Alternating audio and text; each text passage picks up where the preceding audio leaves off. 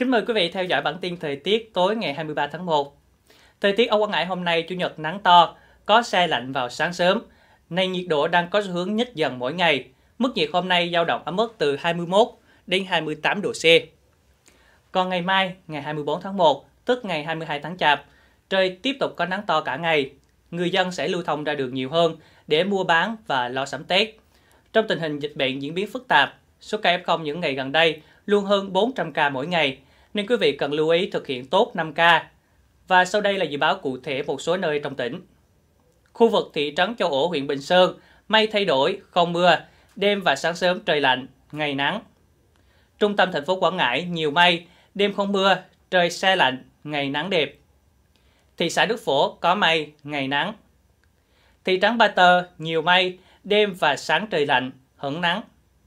Lý Sơn mây thay đổi, không mưa, sáng sớm trời lạnh, ngày nắng. Chuyển sang thông tin thời tiết nông vụ.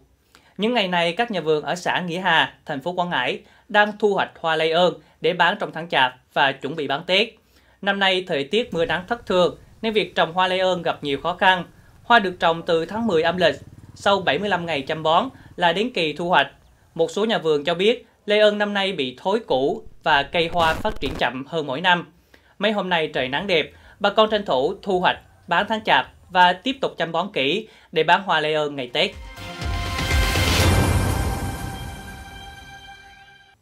Chuyển sang thông tin thời tiết trên biển. Trong đêm nay và ngày mai, khối không khí lạnh suy yếu, nên gió trên hầu khắp các khu vực Biển Đông chỉ ở mức cấp 4. Sóng biển dưới 2 mét, rất thuận lợi cho các hoạt động trên biển. Dự báo trong hai ngày tới, cường độ gió tại vùng biển đều ở mức dưới cấp 4, sóng biển cao dưới 1,75 mét, trời tạnh ráo, không mưa, tiếp tục thuận lợi cho các hoạt động khai thác, đánh bắt hải sản của bà con người dân. Cập nhật thông tin thời tiết khu vực từ Đà Nẵng đến Bình Thuận trong 10 ngày tới. Từ đêm nay đến ngày 29 tháng 1, khu vực Duyên Hải miền Trung có mưa rào vài nơi, ngày nắng, đêm và sáng trời lạnh. Từ đêm ngày 29 tháng 1 đến ngày 2 tháng 2, phía Bắc khu vực có mưa, mưa rào rải rác và có nơi có dông. Phía Nam khu vực có mưa rào vài nơi, ngày nắng, đêm và sáng trời lạnh. Phần cuối chương trình là dự báo thời tiết cho một số tỉnh, thành phố trong nước và thế giới. Cảm ơn quý vị đã theo dõi bản tin thời tiết của Đài Phát thanh và Truyền hình tỉnh Quảng Ngãi. Hà Nội nhiều mây, sáng sớm có sương mù, trời lạnh trở lại với mức nhiệt duy trì từ 15 đến 19 độ. Thừa Thiên Huế trời xe lạnh, có nắng vài nơi, nhiệt độ từ 19 đến 23 độ. Đà Nẵng có mây, nắng đẹp, xe lạnh về đêm, nhiệt độ từ 23 đến 27 độ.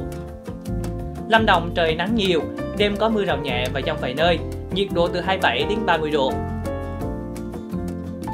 Thành phố Hồ Chí Minh nhiều mây, trời nắng ráo, có nắng, hơi nóng, nhiệt độ từ 26 đến 32 độ.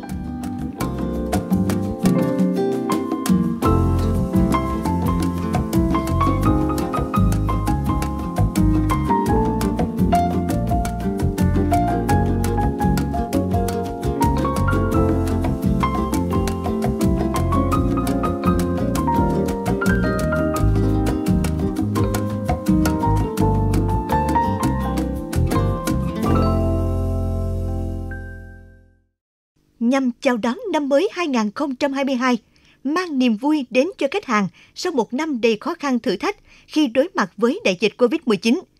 Ngân hàng Thương mại Cổ phần Đầu tư và Phát triển Việt Nam triển khai chương trình Xuân Như Ý với vô vàng quà tặng và ưu đãi ngập tràn dành cho tất cả các khách hàng thực hiện giao dịch tại BIDV trong thời gian từ ngày 22 tháng 12 năm 2021 đến hết ngày 21 tháng 1 năm 2022 với tổng giá trị giải thưởng lên đến trên 1 tỷ đồng như sau. Một giải nhất, xe ô tô Toyota Vios 1.5e trị giá 500 triệu đồng. 10 giải nhì, mỗi giải là một Smart TV 43 inch trị giá 10 triệu đồng. 20 giải ba, mỗi giải là 5 triệu đồng tiền mặt, chuyển khoản vào tài khoản của khách hàng, cùng hàng ngàn giải thưởng tiền mặt hấp dẫn khác.